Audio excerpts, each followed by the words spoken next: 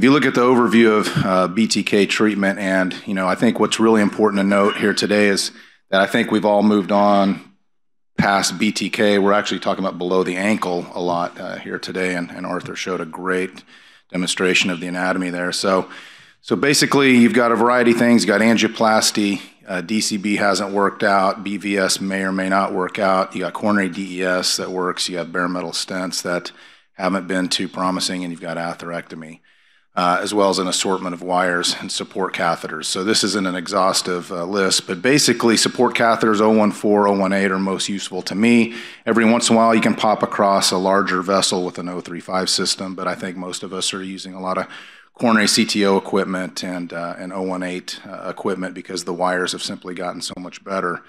In terms of access, uh, you want to have some sheaths that are long that can get you either from contralateral or antegrade uh, these can come anywhere four French, five French, six French, depending on what kind of equipment you think you're going to need. And then from the bottom, a lot of people will just simply get three French access just to gain wire access across the lesion, but some people work through these, uh, these tibial sheaths as well, and so that's always an option depending on the size of vessel. Uh, you want to have a good assortment of micropuncture equipment, and, and I'm obviously biased to the hockey stick probe. I think uh, having good ultrasound is, is of paramount importance in these cases.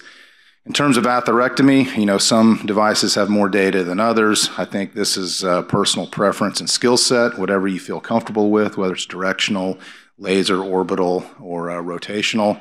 And, uh, and I think it's case specific. Obviously, uh, I don't think one uh, size fits all uh, in these sorts of, of lesions in this sort of disease. So I'll just show a quick example.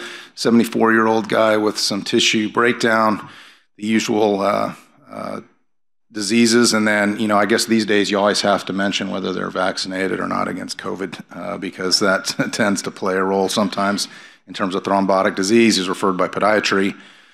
So we'll uh, show the physical exam. No, no uh, surprises there on physical exam. And then this will be a little bit slow, but essentially what you have is a uh, peroneal that reconstructs itself or reconstitutes itself after a reasonable length and an anterior tibial that's gone and a posterior tibial that's gone proximally, but then starts to reconstitute in the mid vessel, as you can see on the right, as far as the posterior tibial. Further downstream, you'll see, if it plays, uh, you'll see uh, uh, more vessel that reconstitutes or not. Okay, you can take my word for it. So the first thing that you're going to want to deal with are wires, and I think this is a very important thing to understand when you're picking equipment is just understanding the wire and understanding the performance characteristics, and we'll get into that a little bit uh, later. But you know, you want something steerable, you need something that's stiff, you need something that's slick that can get across some of these lesions, and then sometimes you need uh, features in the tip in terms of shape retention. Sometimes you need it to prolapse. Uh, there's a lot of different uh, qualities in these uh, wires that I think are important. And understanding the core material is also important. A lot of wires now are nitinol, and that's very helpful in terms of resistance to kinking. And uh, you know, for a lot of people now that do multiple vessels, uh, it's nice to be able to, to take that same wire and use it in more than one vessel. And I think this concept also shouldn't be lost on anyone. When you go from an 014 system to 018 system, it's not 1 plus 1 equals 2. It's actually nearly three times stronger. And like I said, I think you'll find that the current variety of 018 wires is quite good. Uh, they're quite uh, responsive in terms of uh, tactile feedback, and they give you a lot of support and help you cross. And then finally, the taper of the wire. That's just fitting your wire to your lesion. Sometimes it's more important to be able to track, and sometimes it's more important to cross. And so choosing your tips and choosing your wires can be very important there. And then a basic uh, algorithm is just, you know, I like to start with a workhorse wire. I mean, why make things hard on yourself? A lot of times your workhorse wire will work. So if it works, great. If it's not, choose another wire. If you know you're up against a very difficult lesion, then you're going to need a more uh, sort of a higher penetration wire. Same thing. So pick one that you're very comfortable with, start with that, and then escalate as needed. So in terms of this person, you know, in treatment, you have probably PTA and atherectomy.